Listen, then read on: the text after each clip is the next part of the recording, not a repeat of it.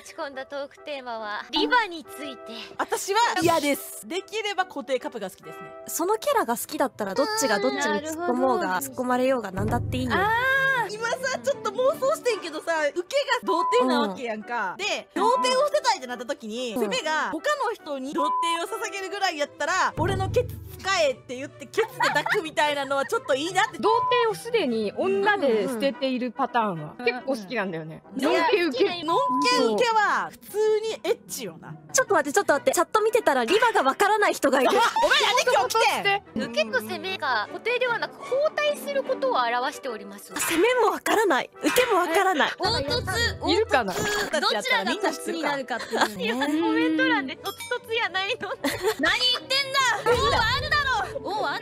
るんでも。あるよ。あるでしょ。う。あなたは光の不女子ですか？それとも闇の不女子ですか？一人大体の性癖言って判別してこいよ。光か闇か。本当にド変態なんですけどおじさんとショタが大好きなんですよ。年の差があればあるだけ好きやし体格差もあればあるだけ好きやし。とにかくエロ重視。ただかわいそうなのは抜けない。どこまで言っていいのこれ？ちょっとちっちゃい声で言うね。うん。平等攻めが一番好き だ共依存が好きで疲れた男とスパダリ上司既婚者が好きなんですよいいね既婚者で受けが好きなんですよ。息子とか嫁の名前を呼んでごめんな。パパこんなのに感じてごめんな。あとオートだったり私食が好きなんですよ。あとケーキバースってご存知ですか？ケーキとフォークっていうのがいるんですけどフォークが味覚がないんですよそれでケーキって呼ばれる人種の体液とか肉体を美味しく感じてしまうんですよね。私それしい。ドヤミじゃねえか。そうですよ。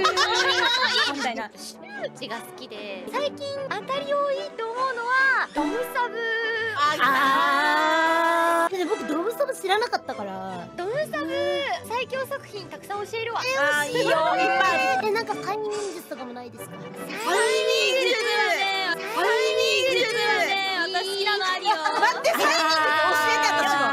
私も教えて。BL サイトに多いイメージが。あそうです。多い多い